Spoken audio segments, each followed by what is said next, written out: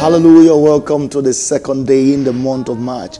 Aren't you glad that God has brought us to another month? What a mighty God we serve. We give God a praise.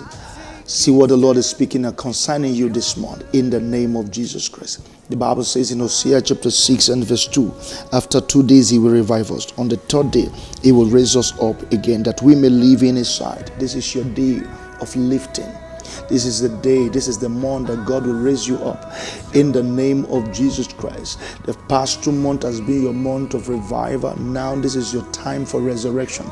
In the name of Jesus Christ, I pray today and this month that God will raise you up, raise you out of the miry clay, raise you out of the battles, raise you out of every claim of the enemy over you.